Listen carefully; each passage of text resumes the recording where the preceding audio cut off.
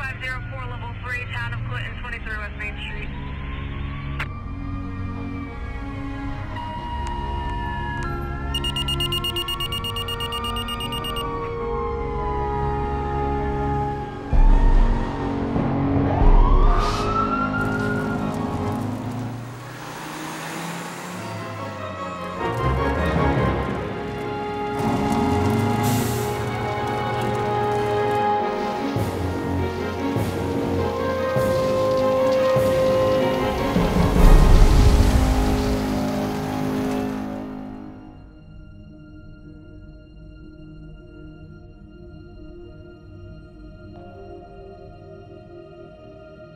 Building fire in Clinton is nothing new.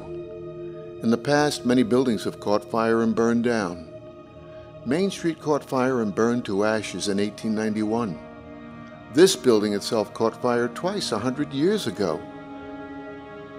But this time, the most recent fire took not just an ordinary building. This was a National Registered Historic Site that contained countless memories of the town. This is the Clinton Music Hall, and it was the center of Clinton's entertainment for locals over a hundred years ago.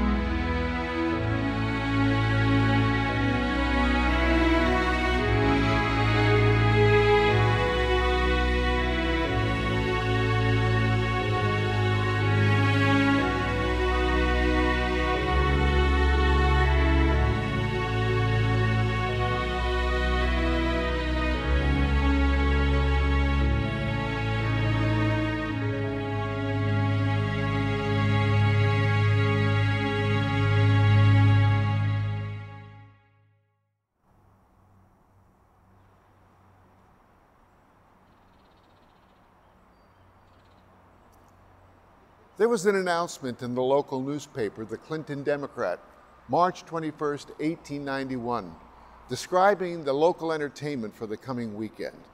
It was a well known Indian medicine show, and it was going to be great. All the entertainers were on roller skates performing comedy, selling popular cough cure medicines, and so on. The show was going to take place right here in the Clinton Music Hall, which was constructed in the 1880s by two local businessmen, Charles Altemus and his brother.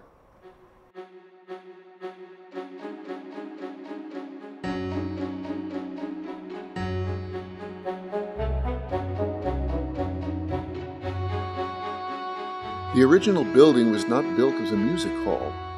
It was a livery stable renting stables for horses and mules.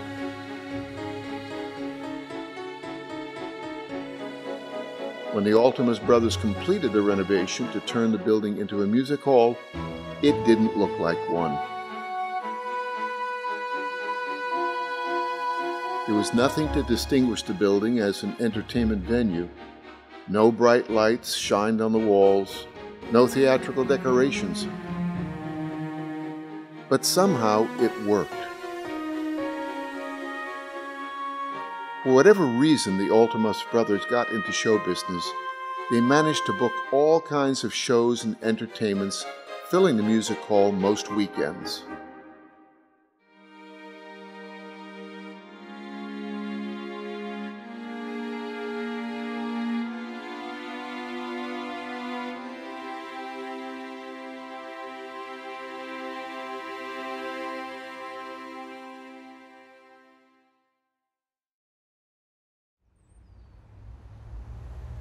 Charles Altemus and his brother were able to make the music hall business work in Clinton. This was possible because entertainment was developing all over the country. In particular, the show business was developing in New York City and Philadelphia. The proximity of these two cities influenced the area. A bicycle. A bicycle. A bicycle. In the mid 1800s, large American cities were experiencing a boom in entertainment. America was, for the first time producing its own form of stage shows after years of performing Shakespeare, opera, and other forms of European entertainment.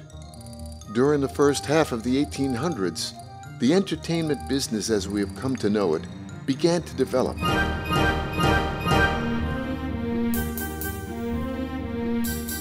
After the Civil War, the things needed to further that development seemed to come together. The Industrial Revolution brought large numbers of people to the cities. The increasing number of white-collar workers created a demand for nightlife. Theater builders across the country seized the trend and built better and larger theaters at a fast pace. New York City, as an example, had more theaters in the Midtown area than any city in the country. In this young and ever expanding country, motivated show people became more eager and more creative. Writers and performers were hungry to create new and distinct forms of American entertainment. The result was vaudeville, minstrel shows, burlesque, extravaganzas, musical revues, musical comedies, Indian medicine shows, and more. Business savvy show people began to take full advantage of the developing railroad network and the increasing communication by telegraph to improve show schedule efficiency. At the same time, the emerging star system began to generate strong and loyal audiences. At this time, there was no shortage of great shows and stars. The seemingly endless availability of new shows and their intoxicating stars brought excitement to the night, helping to make New York City the city that never sleeps.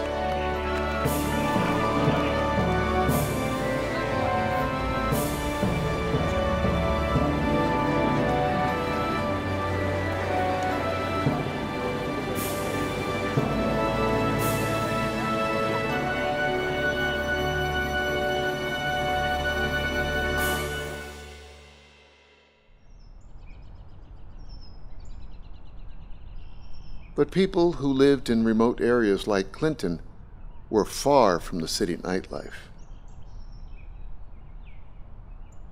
Imagine a place with no internet, no recorded music or live TV, no electricity, and no highways.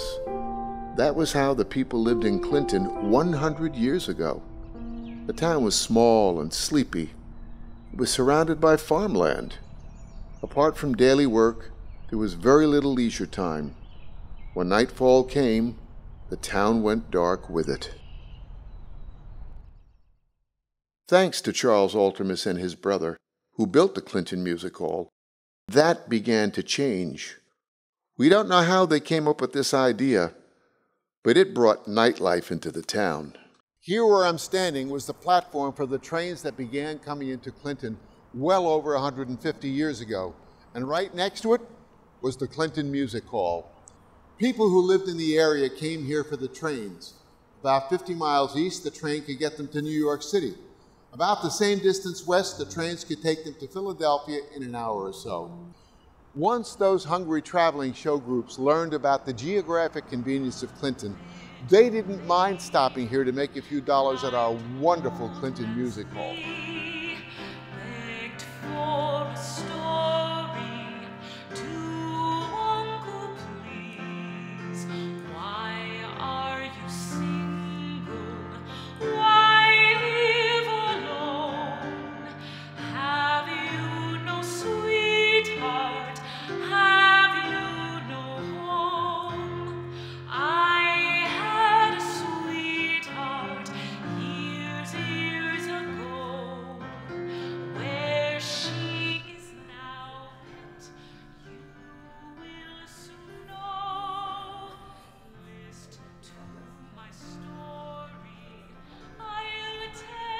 This is the Clinton House, a three-story building that's been open for business since 1743.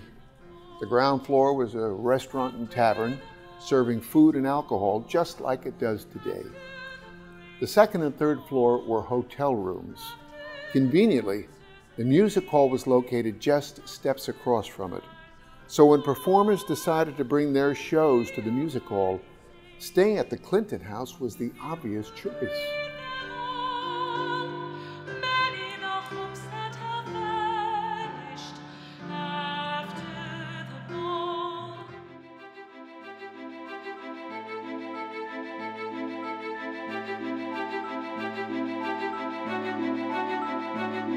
At one time, many believed that Clinton would become an important city like so many others across the country. To take advantage of this opportunity, more people came to settle in Clinton, including Germans, Italians, and the Irish. They opened up shops on Main Street and built houses nearby. By the time Clinton was a self ruled and independent town in 1865, it had grown into a fully functional community. Main Street was lined with shops a blacksmith shop, a monument carver, a horse stable, a supply store, post office, two hotels, meat markets, wheelwrights, clothing stores, shoe leather stores, a drugstore, and a department store. There were also law firms, a bank, and the newspaper, the Clinton Democrat. There were four churches, and more than 800 people lived in the town itself.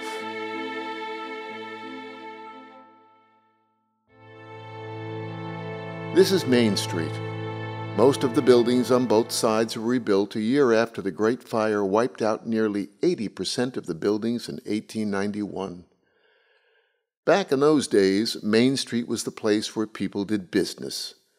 The locals relied on coming to this street to get their daily needs food, clothing, and medicine.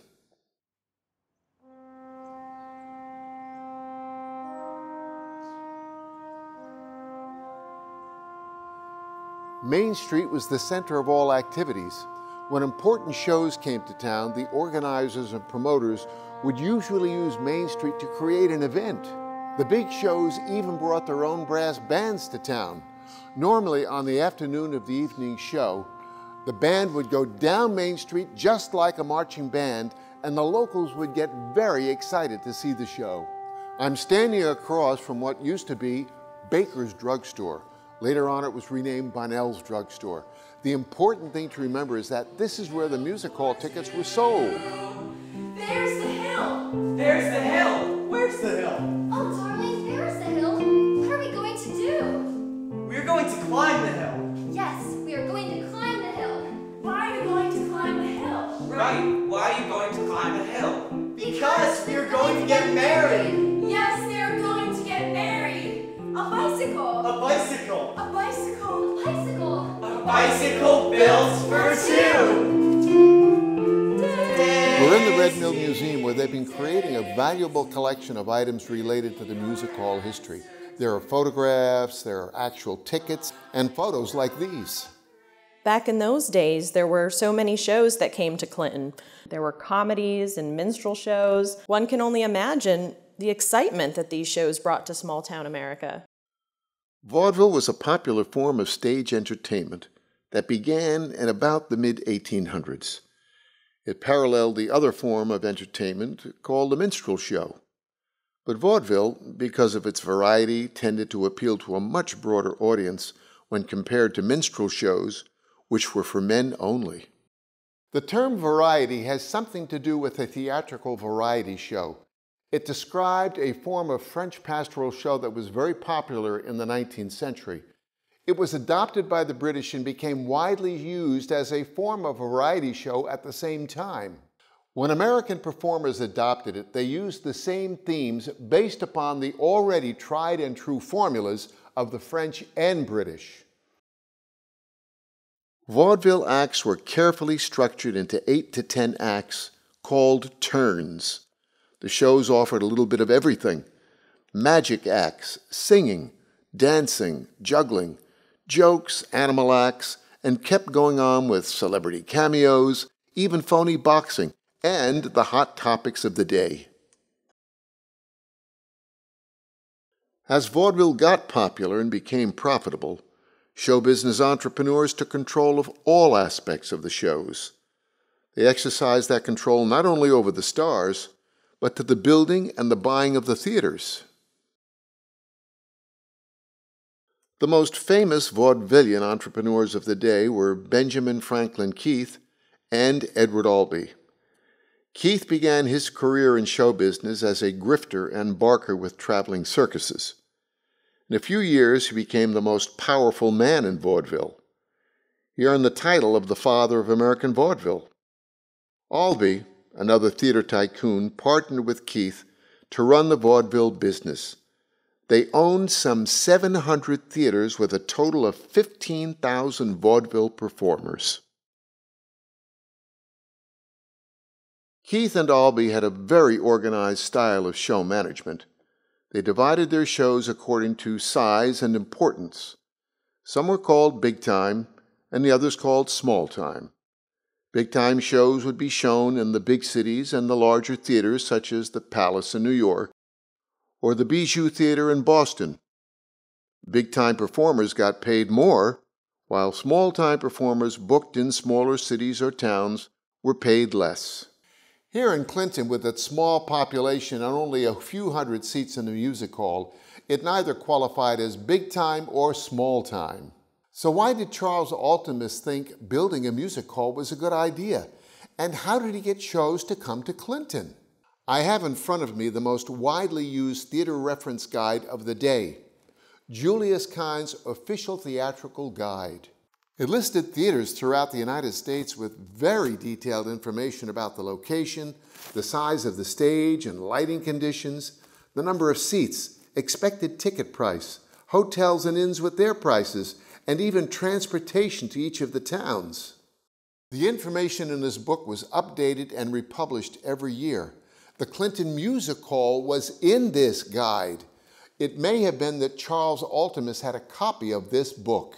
It would have enabled him to contact traveling shows all over the country, and they could have contacted him as well.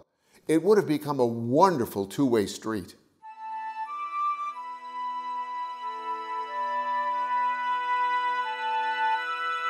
Sometimes the Clinton Music Hall just got lucky. The small time shows did come to Clinton, especially at the end of the decade. When they came, it was big time for Clinton.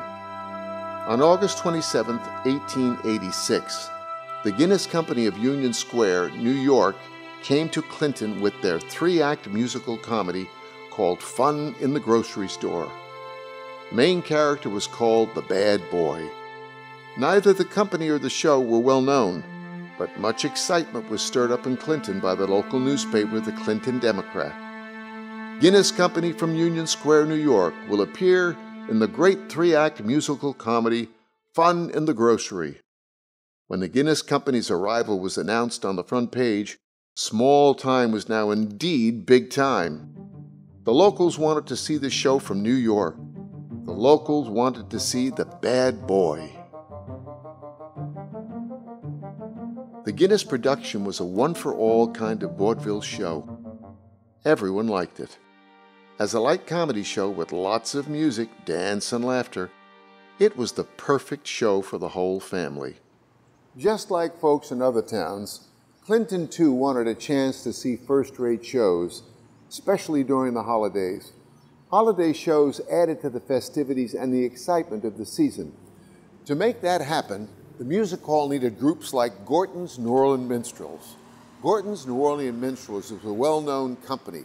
Not only did they have great performers, but they had a great band. It was called the Gold Band, and it was the best band that ever performed in Clinton. Two weeks before Thanksgiving, Gorton's New Orleans Minstrels arrived in Clinton. The weather was terrible. Nevertheless, the Gold Band made a glorious entrance parade right here down Main Street. When night fell, the show went on, and they gave a great performance. The enjoyment and appreciation of the locals was beyond description.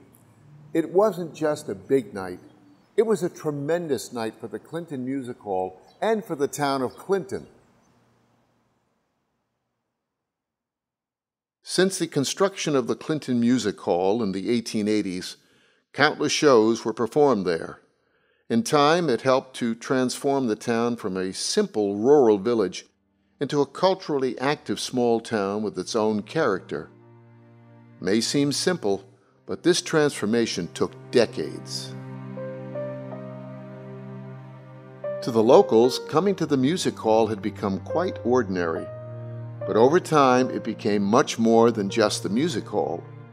It became the center of activity this process of coming together helped create the sense of community. People would come together not just to see a show, but to see their neighbors and friends. They socialized, shared news, and made new friends. It was used for public meetings, political rallies, by religious groups to share their beliefs, and often by business companies to show and sell their products. It was an ideal place for educators to give lectures. The schools even used it for their commencement exercises. The town of Clinton would not have looked like Clinton without the presence of the Clinton Music Hall. It didn't stop there, however. In the early 20th century, Clinton was about to embrace its golden age.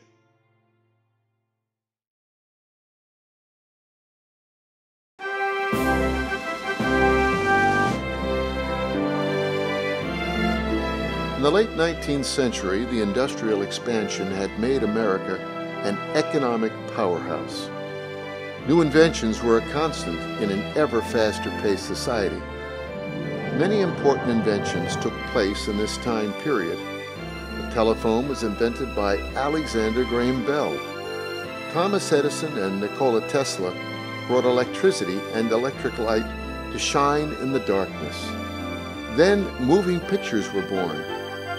As a result of these inventions, America would never be the same again. Neither would Clinton.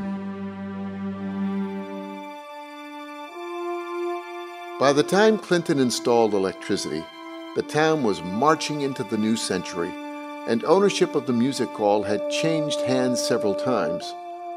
The Altemus brothers, the original owners of the music hall, fell into financial difficulties in the late 1890s.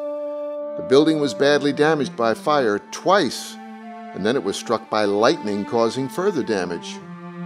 The Altemus brothers were forced into voluntary bankruptcy. Music Hall was bought by the First National Bank at a sheriff's sale in 1905 for $2,450.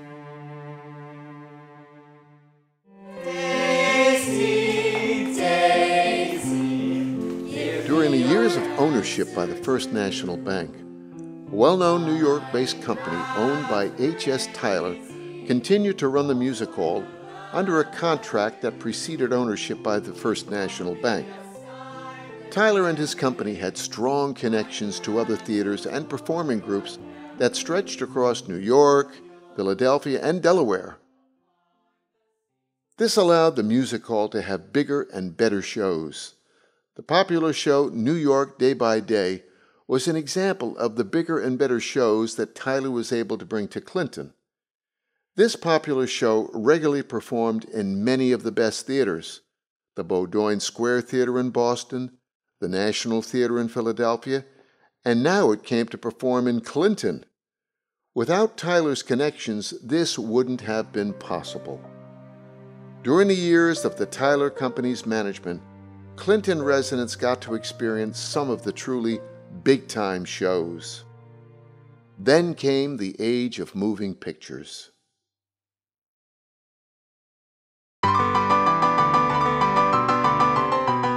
After inventing moving pictures in 1888, Thomas Edison wasted no time in creating the first movie studio called the Black Maria in West Orange, New Jersey.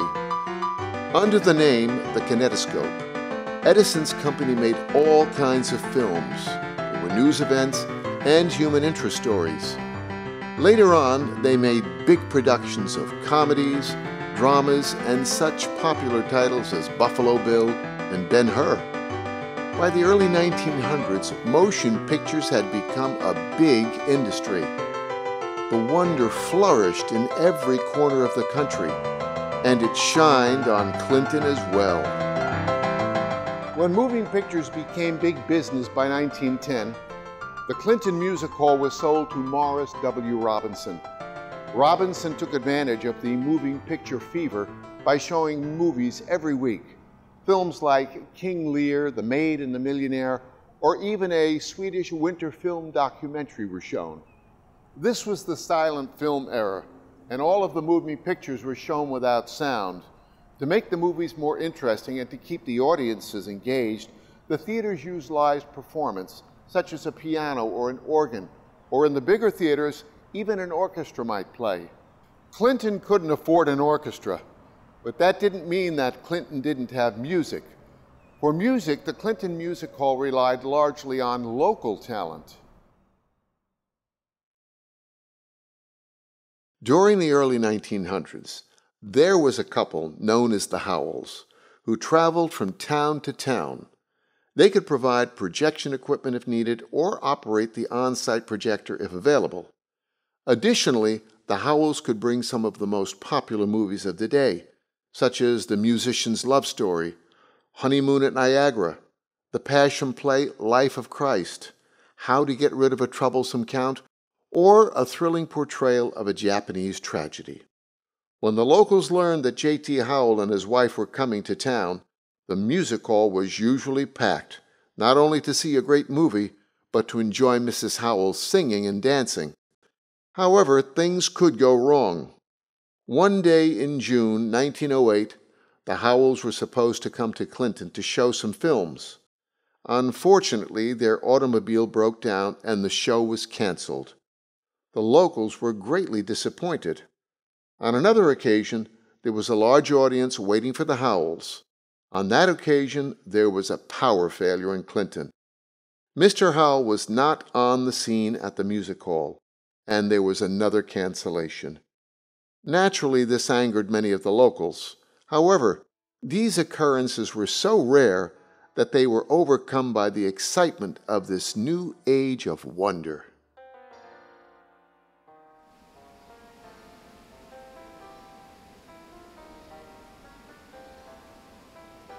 This building on Main Street is now a coffee house. It serves not only as a community center, but as a home away from home for many of the regulars. It has always been an important retail location for Clinton. Around 1916, this building was still owned by the Hoffman family. The Hoffmans owned the largest business in town, and as the movie craze swept across the country, it was rumored that the Hoffmans wanted to open a movie theater in this very building. That became a problem. Coincidentally, the new owner of the music hall was planning on opening an automobile business in that building. Patrons feared that he might discontinue the music hall and replace it with his new venture. There was a lot of confusion among the locals.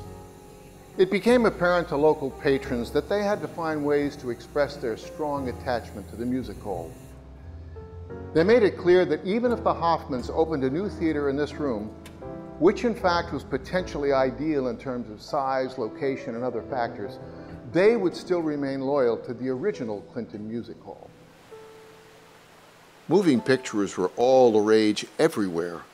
Clinton didn't want to be left out. Even when the new owner, Charles W. Bonnell, bought the Music Hall property in July 1916, he took the Music Hall to new heights. Within months, he remodeled the building and made big improvements. Above the main entrance, he installed an electric marquee. This was a first for the Clinton Music Hall. The local newspaper, the Clinton Democrat, jokingly described the new look as the Tenderloin referring to a popular theater district in New York City. In addition to the electric marquee, Bonnell had just completed the opening of his Ford Overland car showroom just to the left side of the music hall. The shiny new models of the latest Ford Overland created a real excitement, and these additions gave the building a modern look reflective of the new 20th century. All this was witnessed by a local boy, William Hulsizer, who grew up with the Clinton Music Hall. William Hulsizer was born in 1892. When he was six years old, his parents moved to Clinton. They bought this house at 15 East Main Street, directly across the street from the old Grandin Library, which is still standing. When Hulsizer was eight years old, he got a job selling tickets for the Clinton Music Hall. The locals loved to spend their time and their dimes watching shows and moving pictures. It was standing room only every Wednesday and Saturday. At times you could hardly get a ticket. Sometimes little Billy snuck into the music hall to watch the movies or Maggie Linton's slideshow or even a live show performance. Whether it was Uncle Tom's Cabin, the most popular play of the day, or Buffalo Bill's exciting Wild West show with his spectacular Colt 45s blazing, or the newly released Queen Elizabeth, little Billy Hulsizer enjoyed them all, and he did so free of charge.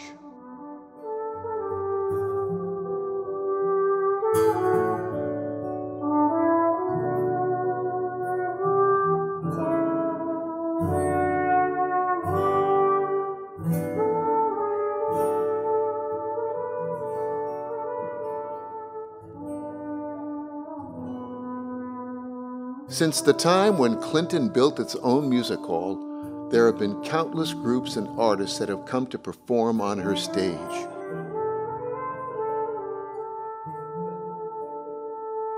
The energy of that showmanship stimulated the town and inspired local talent to organize their own performing group.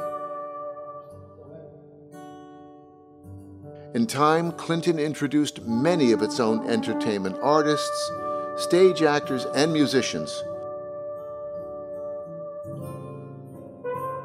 They ranged from the amateur to the highly regarded, such as Anna Case.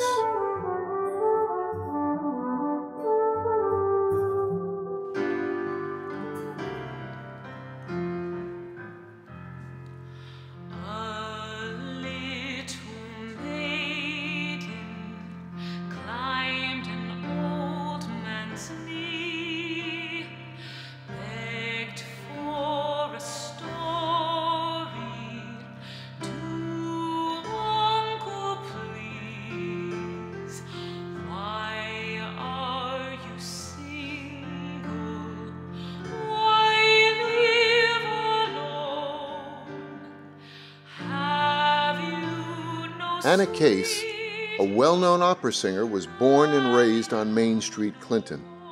It's possible. Anna Case may have been much influenced by the shows performed in the Clinton Music Hall throughout her childhood in Clinton. It could have had a strong influence in her decision to become a professional opera singer. At the age of 20, she became one of the most important American opera singers.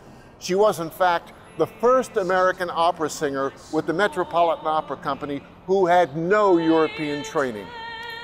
The beautiful and talented Anna Case was so important that the Metropolitan Opera House still has a plaque today honoring her for her contribution to American opera.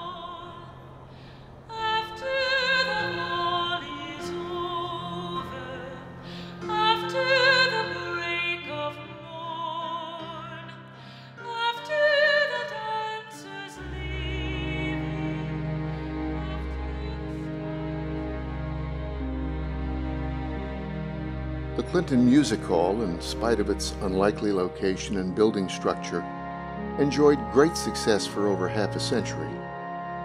It played an important role in shaping the culture and character of Clinton.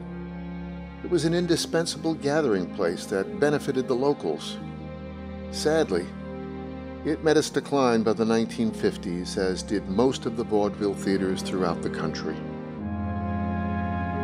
But you know, that's interesting. There was somebody in White House that was said to have done some. To honor these losses, especially after the fire of 2016, local organizations have been actively preserving this part of the Clinton Music Hall history. collection at the uh, Red Mill. But what we really like is more memorabilia, ticket stubs, uh, got a theater seat, and the holy grail, of course, is the uh, curtain, famous curtain from the auditorium. Uh, people talk about it, people mention uh, that it was taken down when the building was converted to commercial space, but if we could only find that, it would be fantastic. It's fascinating to think about Clinton as a place where arts and culture have flourished. Today we think about the Red Mill and the Hunter Art Museum, but of course it all began with the music hall in the 19th century. We are the beneficiaries of that legacy.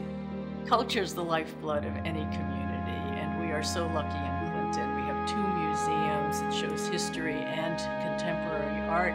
It's linking past and present. It's really an amazing benefit to this community to have both of these institutions, and of course, they're based on the environment that the music hall created by inviting culture to Clinton.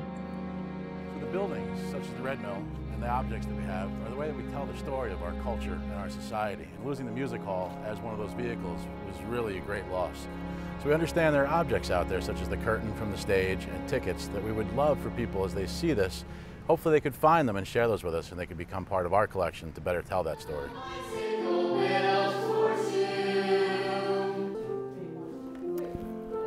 We're in the middle of a rehearsal for one of the most popular tunes of the 1890s. It was called A Bicycle Built for Two, and it was probably performed many times at the Clinton Music Hall. So these kids are very prepared for doing a show like this because they've just done the Newsies, which was based in the 1890s. So they learned to work really hard and rehearse about the time, about the time period, and that's what they're doing in the show right now, which they probably did back in the old Clinton Music Hall. How long did the kids have to prepare for this? Prepared to do a show like this, since we just did Newsies, which was also based in the 1890s. This we rehearsed in about two weeks, and that we spent months rehearsing. So they worked really hard to learn the time period. It won't be a stylish marriage. I can't afford a carriage, but you'll look sweet upon the seat of a bicycle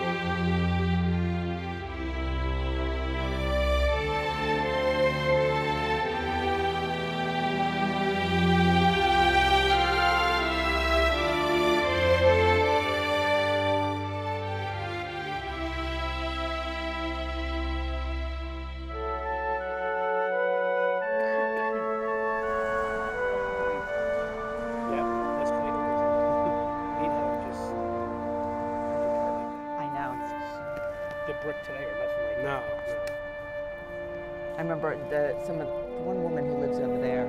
She was crying that day in the building. Uh, yeah. She, she came down to the street. Yeah. Talked to a bunch of us. Brad. If we think about all the excitement that took place at the music hall, we're struck by the fact that there is hardly a person left who can remember it.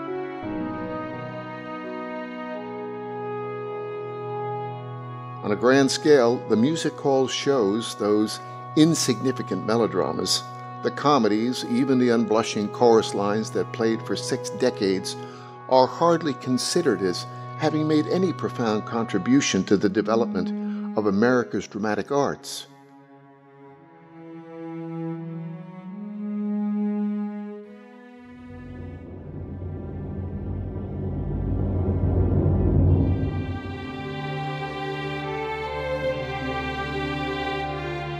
Rather, the Clinton Music Hall is the reflection of the constant progression of a new nation, a land of ambition, innovation, and enthusiasm, a land of the American dream.